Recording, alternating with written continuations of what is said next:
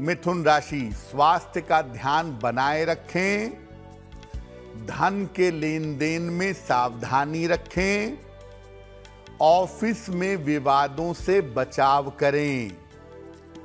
किसी निर्धन व्यक्ति को अगर केले का दान कर दें तो दिन की मुश्किलें बहुत हद तक कम हो जाएँगी। शुभ रंग होगा हरा और भाग्य का मीटर आपको नंबर दे रहा है। 60 प्रतिशत मेहनत ज़्यादा होगी, भाग्य थोड़ा कम रहेगा।